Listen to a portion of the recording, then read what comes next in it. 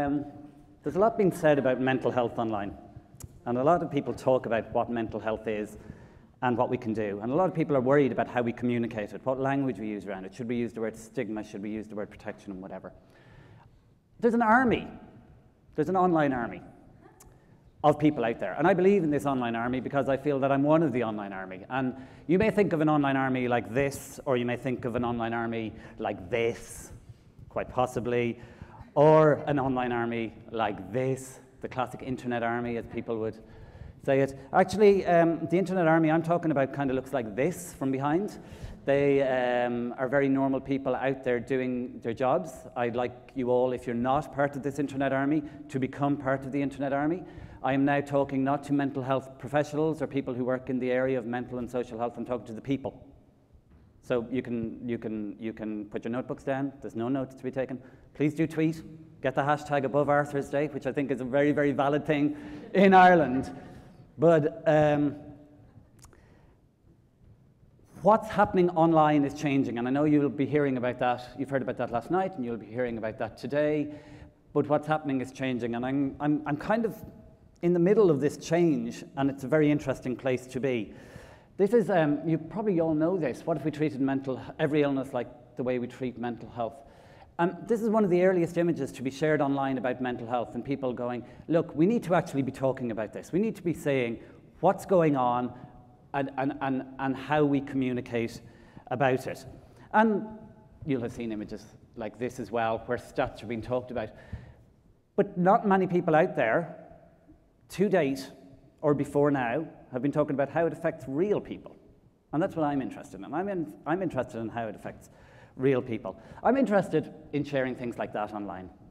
My jo- uh, uh, you'll see what my job is in a few minutes, but every day I wake up and I look for things on the internet to make people smile. Um, because it makes people's days better. Just to see something come up on their screen that they go, oh God. Mostly it's, oh God, where did he find that? Isn't that brilliant? Isn't there a wonderful story? And that. But also, it's things like the graffiti that was up in uh, Northern Ireland over the weekend that went viral around the place. You know, positivity, it spreads, people love it. Um, a follower of mine on Twitter drew that for me. Uh, it kind of sums up a little bit of what I do. What I actually do is I look after Riverdance and the new show Heartbeat of Home online. I help with the At Ireland project. I was working with World, WorldIrish.com. Um, so I was dealing with Irish people all around the world, and I've got this vast network of contacts, as we all do, all around the world in, in what I do. And I share stuff like that to them because sometimes uh, it's international. Really interestingly, the number one question on Go- in, the number one question Googled in Ireland in 2012 was "What is love?" Isn't that really interesting? I wonder if there's a lot of Haddaway fans there, or it's it's a, something that that's that's actually a fact. Um, I share things like this. And I share things like this because people love this. and then I ask questions like Does anybody else think it looks like they're, uh, they have an elephant ploughing rather than two horses and a man? From the front page of the Irish Examiner a couple of days ago. Um, I like the clever stuff that's shared online. Like the advertisement for the Van Gogh Museum is very, very subtle, but very, very clever. I like when I see things like that. I'm also a very awkward person. I don't know what to say to people at funerals, neither do I. I'm terrible. Just say, I'm sorry for your loss and move on. I'm sorry for your loss and move on. You know, I, I tend to put my foot, I make a very good second impression personally, but there's a lot of the people who do that online. They jump online, they have a bad reaction, and then they come off it, kind of scared. And then there's always time for red pandas. Um, I help people use the internet. I help people use the internet and communicate and how they do it and use social media and what their tone of voice is and what way they're saying things. And it's a really interesting job. But I find it far more interesting to put that up and people go, oh, yeah, I remember that. That's 1998. 1999, one of the earliest images. I must warn you, by the way, there's a few photos of, of, in this presentation of me naked, and I do have a thing for nuns, right?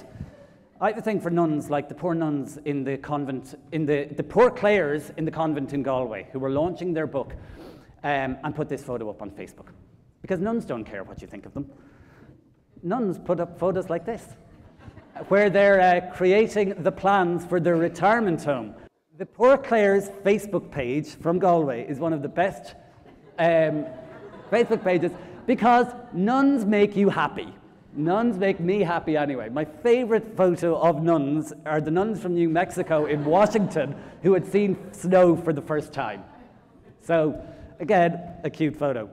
Um, I tweeted this out the morning that Barack Obama got elected the second time. It's President Elmo on the phone to the Pentagon. Yeah? Yeah? Nice. And we've seen the way things like this go viral so very quickly. Um, that was around the place. One of my favorite Halloween costumes from last year was the guy who dressed as Braehead. You'll see the railway tracks, the condom wrapper, the Bulmers cans, uh, the rail tracks. There was also these kids in America. Again, things go around the world so quickly and just make people go, oh, that's really cute. And then I do things like this Irish wristwatch, but if you try it, it's, it sounds very different in your head. Um, I kind of, because I'm an internet person, I kind of vary between what I do, and I'm, i find it very, very difficult to stay on track. I'm going to try and stay on track for this. And really, I've had to learn what the outside world is from an internet point of view rather than what the internet is from an outside point of view because I spend so much time online. So I have that printed on my desk just to remind me uh, what I'm dealing with. In 60 seconds on the internet, so much happens. And we all know in our online reach out how difficult it is to get to people and get people's attention. 278,000 tweets a second is, is quite extraordinary. 20,000 photos on Tumblr. This is probably about three weeks old, this graphic, and it's probably already well out of date. Uh, we know that in Ireland we have 60% uh, of the population is on Facebook, 27% are on Twitter, 21% are on LinkedIn. People do love talking, people do love the chats. I love photos like this though because it's the screens that really interest me. And this, you can't go anywhere. I was in a, I was in Heartbeat of Home Open last night, and four rows in front of me, a guy was taping the bloody concert on his phone. I was so angry because I couldn't just reach down and go, please, please stop. But it's so funny, the proliferation of smartphones and the way that they're changing what we do. This is a, a diagram of how viral content spreads. So, cat on a Hoover goes to Reddit in 20 minutes, hits and hits your mother in about two weeks. you know? You know? You'll see it on Twitter in about an hour and a half. And, and that's how quickly information is spreading around the world now. Um, I send out photos of the bridge in Dublin that I walk across on the way and, and back from work, and people around the world who are uh, abroad kind of go, oh, thanks, I'm looking forward to being home. It's lovely to see something of home. Uh, I share photos like this. It was a, it was on a, it was in a, um, a housing estate, I think in Limerick. Uh, the, the, the, location uh, varied. And then you'll have seen uh, things like this. I prefer this one. Uh, Twitter is I'm eating a hashtag donut. I like donuts. Instagram, here's a vintage photo of my donut. And poor Google Plus, I'm a Google employee who eats donuts. You know, there's no love for Google Plus out there. But I, I quite like how you explain social media to people. I'm trying to get them to understand that people are going on there mostly for information and entertainment. It's a little bit of both. Um, and when I wake up in the morning, so I, I, I would check worldirish.com. Uh, I have a blog called yay.ie that I write on. I have a WordPress and a Tumblr blog. I log on to boards.ie to see what's trending there. I have a flip video that I will have taken videos on and they'll be uploading to YouTube and Vimeo during the night. Um, my phone goes everywhere with me. I upload my photos to Pixie, Flickr and to TwitPic, which means they go to Twitter. Goes to Foursquare then, where I check in. Um, I'll add reviews on Yelp. I'll put my interviews on SoundCloud. I'll go to 9gag and Reddit to see what's trending around the world. I'll answer questions on Quora. Um, I'll check who's tagged me in embarrassing photos on Facebook. I'll check my LinkedIn for requests. That all goes to my RSS feed, which goes to my Google+. So when somebody Googles Darragh Doyle, they see that Darragh Doyle does all that. Problem with doing that is you end up with photos like this. Now, let me show you this photo. This is me a couple of years ago at U2 in Croke Park. It was taken by my girlfriend at the time, who said, I was videoing in one hand, tweeting in the other. She said, you weren't really at the concert. You know, it, it, it's a difficulty. It's been an addiction that I've had to get over. I'm not going out for dinner with you because going out for dinner with you is like that. And if I wanted to invite Twitter out, I'd invite them out myself.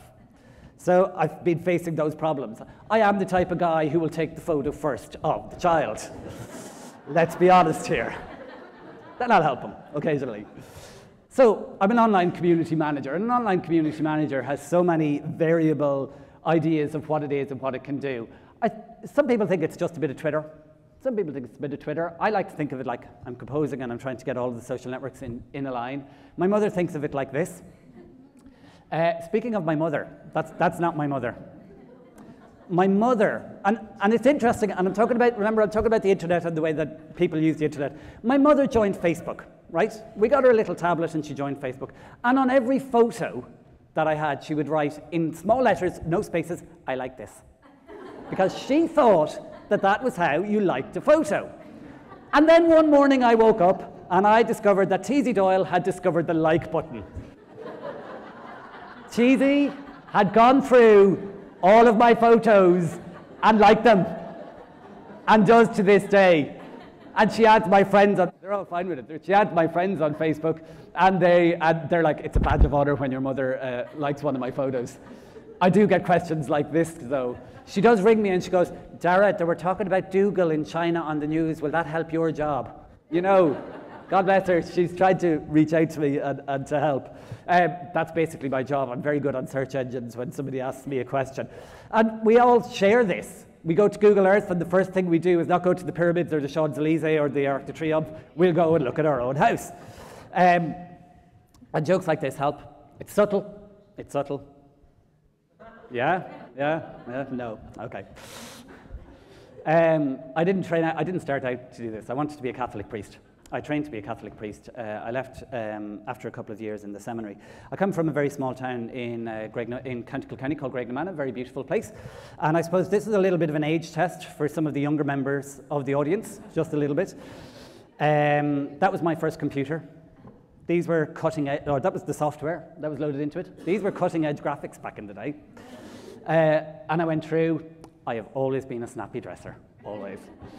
Um, and if you could do that in 1997 in Kilkenny, you were an IT expert. Parts of Kilkenny, you still are. Um, and the way that we've changed and how we communicate online is quite extraordinary. And the way we talk about mental health and the way that people are feeling is quite extraordinary. That's my mission in life. Isn't that nice? Isn't that nice? And I'm going to show you how you can do that too. Um, I do, the naked photos are coming up. I do a lot of silly stuff, like I'm involved with um, the Street Performance World Championships, the Dublin Zombie Walk, and the Where's Wally events where I share what I'm up to and people get interested and get involved in what I do. Um, I was naked. I'm there. I'm in there. On the, on the, the docks uh, for Spencer Tunick, I was naked in the sea. Never in my life have I been so cold, and never in my life have I been less worried about what anybody else thinks of my body brilliant liberating experience, and I've worked on presidential campaigns. so I've seen the wide gamut of the way that people communicate online and what they communicate about. And I'll do things like this, because people go, oh, that's very sweet. Thanks very much. I'll do things like this. I shot this on Camden Street, right? And I saw it and I went, that's a bit unfortunate.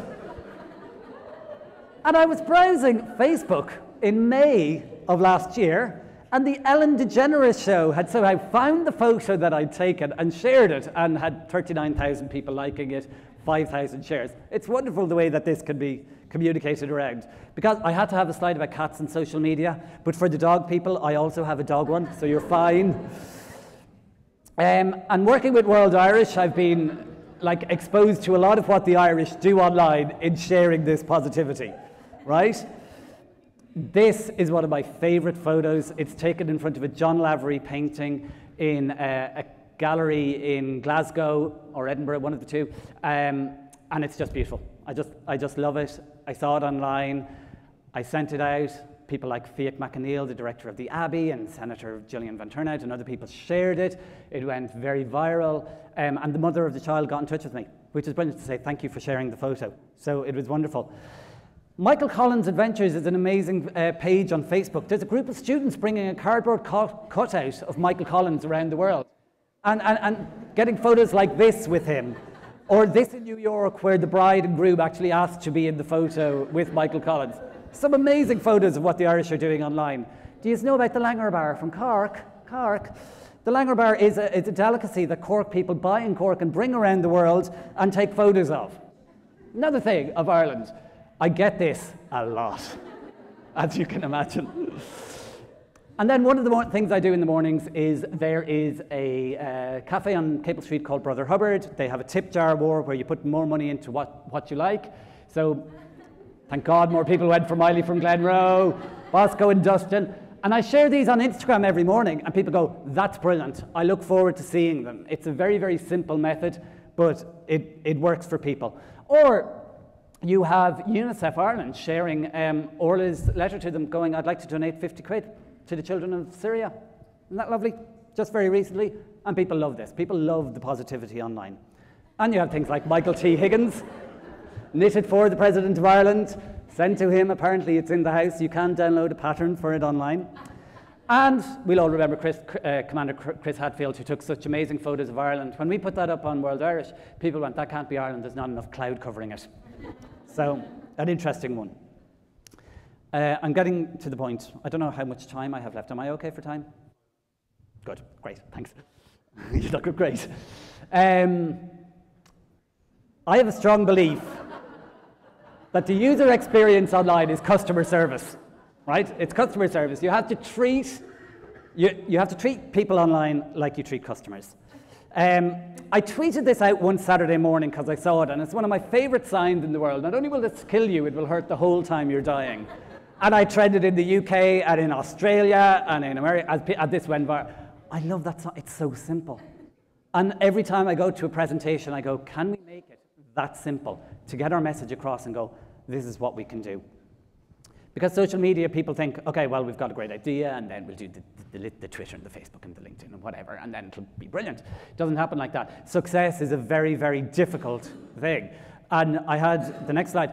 This was my uh, basic thing doing my presentation this morning. Anybody who's in the uh, creative process will know that a lot of it is, oh, sweet Jesus, why did I say yes? that was, this part this morning was when I got an email going, you're not on till 10 past 11, it's fine. And then I got an email a few minutes later going, actually, you're on now, can you run? oh dear, oh dear. Um, and then the internet is brilliant for things like this.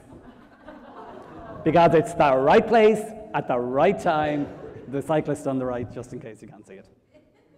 I think about the internet like Grafton Street. Um, like I'm walking up and down and I'm watching people go by and we're talking and there's musicians and there's shops that I can do business with and I can look at the guys making the clay dogs or pigs or whatever they're making now. Turtles is, is the new one apparently and whatever. And I treat Twitter very much the same way in that I'll see somebody that I know and we'll have the chats or I'll see somebody I want to talk to or I'll reach out to somebody or I'll see somebody that I can help. And that's what I'm, I'm going to talk to you about. But first I'm going to tell you about why I gave up on the internet. Right? I did. I gave up on the internet. I stopped the complete and absolute bullshit of trying to get to everybody and get my message out there as wide as possible and get everybody interested in what I do and how I do it because it never works. There's only one thing online that I have seen that does this and does that well, and it's Boo. How many of you know what Boo is? A couple of you know what Boo is? This is Boo. Ladies and gentlemen, this is the most popular dog on the internet. Boo, at the time I took this, had 500 or 6 million likes on Facebook. Um, when I took this one, uh, about two weeks later, he had 7.1 million, and he's currently up to 7.4. And people love what Boo does, and this is the stuff that people like online. Because Boo will share a photo, and within 10 minutes, it will have 138,000 people liking it, 5,855 shares, because people love fluffy things online. Well, some people do. Some people do. Sorry, Dan. Um, and Boo will uh, share photos like this. Boo's owner will. You can buy a, a, plush Boo in Urban Outfitters for 32 euro. You can buy a book of photos that you'll all, you will find on Boo's Facebook page for free for 20 euro in Urban Outfitters. Boo is a little industry all of his own because Boo can do things like that. So, like, don't try and be Boo, is basically what I'm saying. Okay, so here's, I'm getting to the point. There are 10 things that I believe you can do. There's a lot of them you can do from this room. At the very end, we're all going to do one of them together. Um, and I'd like you to join the online army of writers and confessors and bloggers and tweeters and posters and Instagrammers and cartoonists and comic book people and film people who are all making things about mental health and saying to people, you are not alone. You are not alone, and this is the biggest thing. This is why I love the internet. First one I'm going to tell you is tell your story. Many, um, it, it reads, it's really difficult to be a human. Like, have you ever done something awkward and then thought about it for eight years? We're sharing stuff online. People are sharing stuff in different ways and different mediums. Um, there's a lot of cartoons out there at the moment, a lot of cartoonists making stuff about mental health, making stuff about depression, that is reaching out to people and going, I'm suffering from this too. I have this voice, I have this creativity, and I can use it. Some of them are, are really, really beautiful. Tom Murphy was, uh, is a friend of mine, was my boss. Many of you may have seen him. He put this article on the journal.ie uh, a few months ago, and basically the thrust of it is I go to a physical trainer to um, exercise my body, so that's why I go to a counselor to exercise my mind. And having read that and knowing Tom and have read a lot of stuff on boards.ie, I went to a counsellor. I started counselling recently. It's one of the best things that I have ever done. Um, and I, I think it's extraordinary that there's people like this. Even this week, there's somebody talking about living with ADHD up on the journal.ie. Um, a girl called Roisin got in touch and asked me if I would share her uh, blog about uh, being 19 and being diagnosed with cancer. Um, and so there's a lot of people out there that are talking about the things that are happening with them and letting people know that they're not alone. Sharing advice is something similar. Sharing advice, you can do it in a variety of ways. I can show you thousands of websites where you can have the opportunity. Um, this is Suicide Watch on Reddit, one of the most popular uh, sites in the world, where people post and go, I'm making an exit bag, I'm leaving Monday. People are actually suicidal and posting online and saying, I need help, and people are getting comments. It's, it's a further diagnosis than going to your GP or writing to the newspapers or whatever. This happens online. Even in Ireland, we have boards.ie. Boards.ie has two, three, four actually, four amazing forums that I love. This is personal issues where people post about dandruff that won't go away, or people say I'm negative, or I'm in self destruct mo mode, or I'm lacking female friends. People go in, post anonymously, other boards members come to them and give them advice always very positive.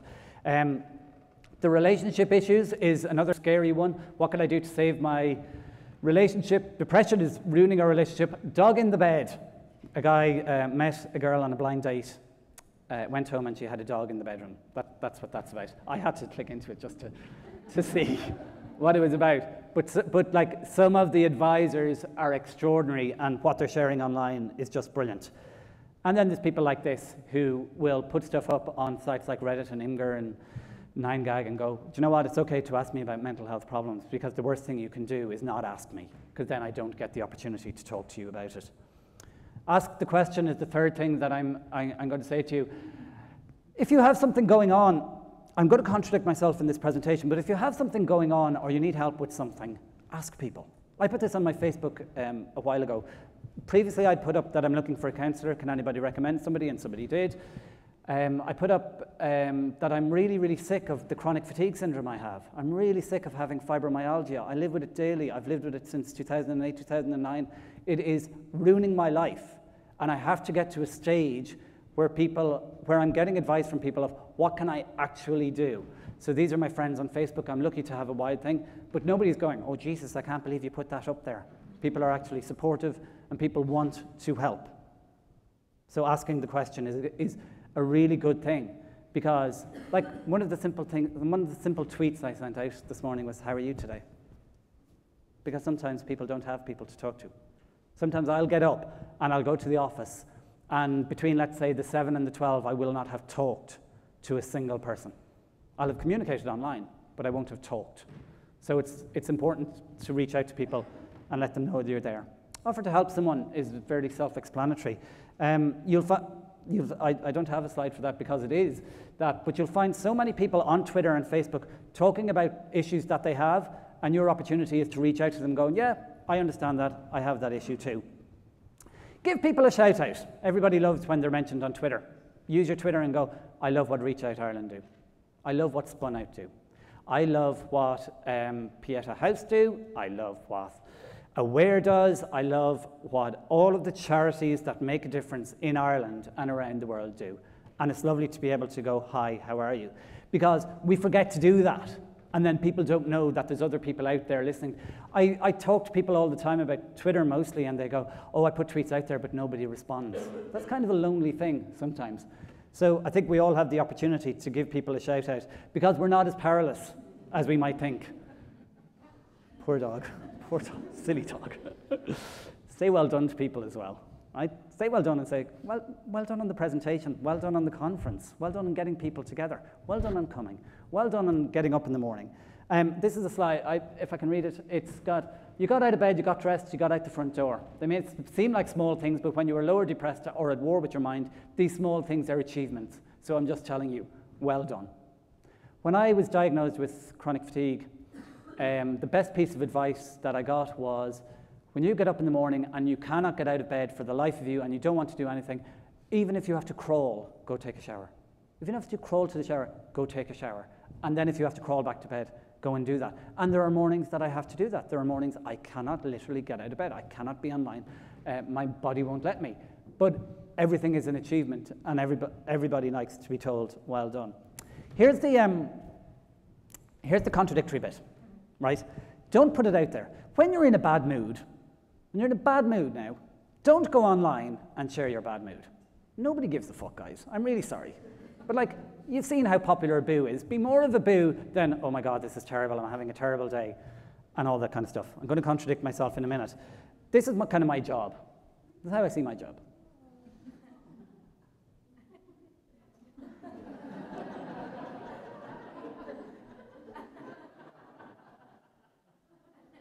That's how it feels dealing with people on the internet sometimes. But you have to be positive, be nice to people. Just don't let people be in a bad mood. You'll know, if any of you follow me on Twitter, you'll know when I'm tweeting photos like this. Um, how did you hear about the YMCA? Is, is the thing. Love it. It's on. uh, photos like the Dublin team uh, visiting the hospital during the week. You know I'm probably in a bad mood because what I'm doing is I'm sharing these pictures to make me feel better because I found them online. I love that one. Um, it's weird, but I love it. So here's the contradictory bit. Put it out there. Because if you've got a problem, if you've got, if you are feeling depressed, if you are feeling low, if you want to reach out to somebody, do reach out and say hello to people. Because we are in this situation. Not many people go, how are things going with your depression? Are, are the meds treating you well? Have you had to give up stuff? How's your energy levels? What does it feel like? It can be a very difficult and isolating thing. And sometimes you just don't know what to say. Uh, we all suffer from that, but we can do that. That's one way to deal with my depression sometimes. um, I, I, I, uh, the motivational things that you can find online sometimes can be quite extraordinary, but then there's also the campaigns. So, um, suicide is the second biggest killer of college students in the States. So, there was a campaign recently put out uh, where they put the backpacks of suicide victims around, told the story of people who had done it, and gave where you can go to help. I love that. Keep asking and searching, because somebody will answer you. You will find it. When I was a kid, there was no such thing as Google. I couldn't go on the internet and find, does anybody else feel like this? What does this mean? Why am I doing this? What, what's wrong with me? And all that kind of stuff. Now we can. But it's up to this army of people who are putting stuff like this up there to populate it with that content and get it out there. Um, these are a series of posters by a gentleman called Patrick Smith, where he has visualized what different um, ailments are like. They're very simple, but they're a lovely way of communicating what it's like to be about. That's gender identity disorder, anorexia, uh, depression. Another one that I found really striking was um, Toby Allen, who has started uh, cartooning uh, different ailments anxiety, borderline personality disorder, paranoia. He's giving them characters so that children will be able to know what's wrong with mummy or daddy, how it affects them, why it affects them, what's going on there in language that they can understand. This is hugely powerful stuff. And then there's cartoons like this, which basically talk about uh, the struggles with anxiety. Um, I found this um, online this morning, a lovely letter that a girl keeps uh, sellotaped to the front of her folder. She wrote it and says, Yeah, sometimes I feel crap, but here's what I do about it. And she decides to share that online with people. It may not be the most beautiful thing in the world, but it's a lovely thing for her to share. Like I do, share something funny because God, the world is depressing enough.